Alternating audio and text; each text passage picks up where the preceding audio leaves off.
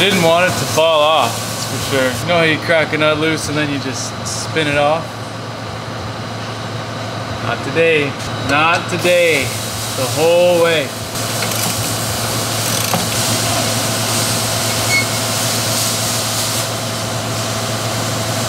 Big nut. All right. We're here on design time where we're going to show you how we reverse engineer a toe arm for a C6 or C5 Corvette. I'll give you the step-by-step -step process on uh, measuring what the arm needs to be, picking up on details like thread, taper angle, ball joint style, what we're going to do, the amount of room that there is in this area. So we need to be cautious of the size of the arm body that we go with, whether it be aluminum or chromoly or steel. Uh, selecting the material, I know that this arm specifically is a really nice design for guys because if you tap the wall or hit somebody, it's generally just going to bend that arm. We want to maintain that structure. So I'll show you what I do on the computer to make that happen and then you'll see the product available at a store near you. Actually, no, it's on our website or on Drift HQ. Let's do it. I just got to remove the uh, outer tie rod and we can get a good look at what this arm needs to look like on an aftermarket side of things.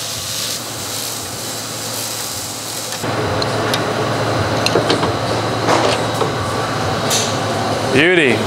So, I need to be replaced anyways. Feels a bit grindy. Anyways, this is the arm that we're gonna design. You know what? They both don't feel great. So it's a good thing we're in here doing this details things that we need. Taper angle, thread pitches, diameter and thread pitch. I'm gonna call this one out to be like an M16 by 2. Yeah, could be wrong, but it's just kind of what it looks like. So we're gonna get a length from center to center on the pivot. We want the ball joints to be in the exact same spot to maintain our bump steer uh, geometry for the rear. So the idea is we're going to be making an adapter here that's going to have a shackle and that shackle is going to hold a rod end and then from there we can have a rod end control arm essentially with an adjustable body in the middle that has a left hand and a right hand thread so that we can easily have a replaceable piece where you don't need to remove this because this is actually kind of a pain to remove. At the track it might take you 10 minutes to take it out but uh, if you just had a bolt here and a shackle, it'd be like a 30 second zap it out, pull the bolt, and then the arm would come out. And then you leave the adapter installed. So we're gonna try and do some things that are really efficient for the driver and make this uh, a really user-friendly piece and affordable because these are uh, not made anymore and they are expensive if you do find them. So. Okay, Jack, that's enough. Oh. Ah, definitely correct. M16 by 2. And this is an M14 by 1.5, and that's an M12 by 175. How do I know that? Because I have a built-in thread gauge. It's all in the brain. I've just been doing this for a long time, so I just know. Cool. I, I watched you Google it before you started working on it.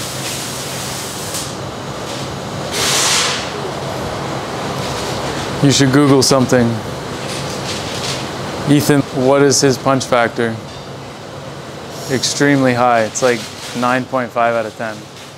Okay.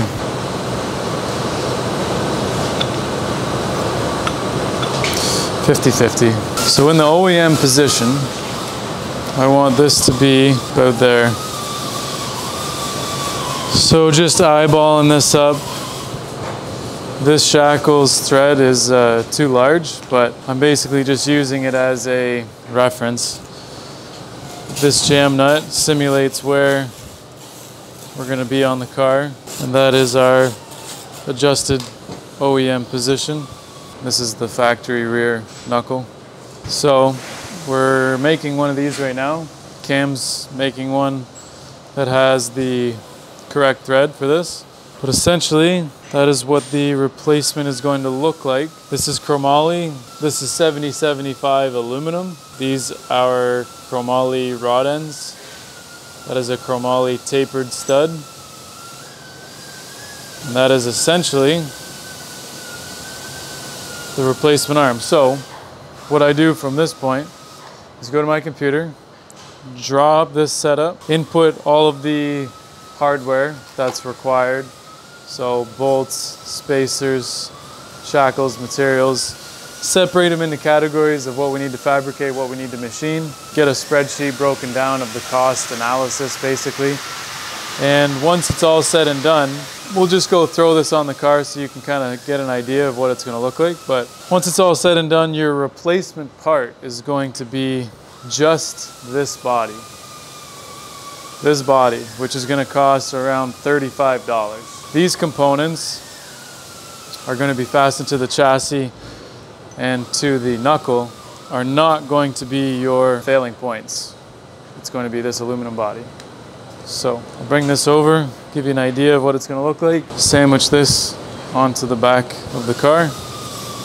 Follow me. So the factory rear toe arm goes into this hole.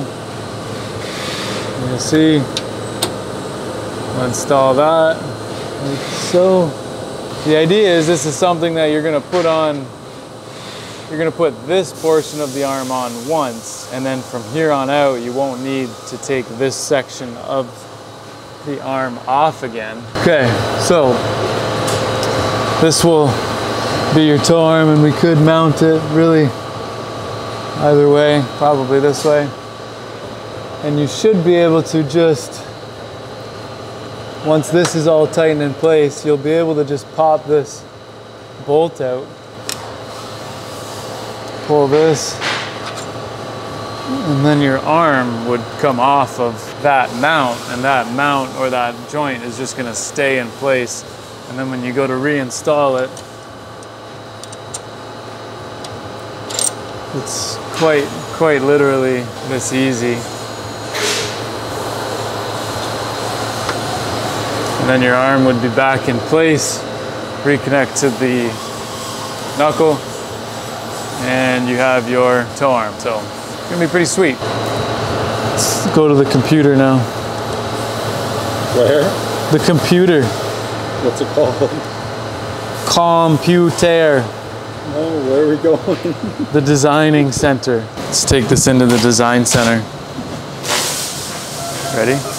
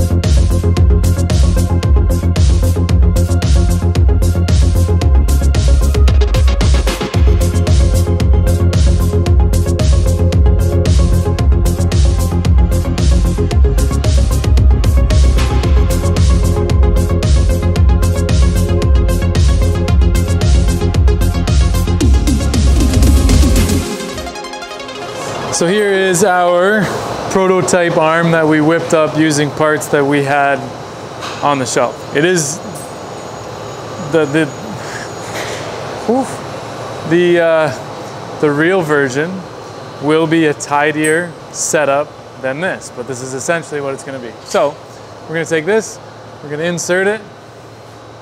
Uh, see that? Inserts into place. This is going to go there. And that is essentially what you're going to be left with. You're going to use your wrench here. You can adjust your toe. You're going to have your left hand on the outer heim joint, right hand thread on the inner heim joint. Adjust it this way, adjust it that way, throw the nut on top, good to go. And to do a replacement, this will always stay connected to the car and you will simply be just pulling this bolt which will be a much more efficient way of changing parts on this arm or taking the arm off because now the arm is going to look like this and you're going to leave that connected to the car. So this is pretty much what you're going to be left with as an arm itself. It's going to be sweet. Let's take this into the design center. Ready?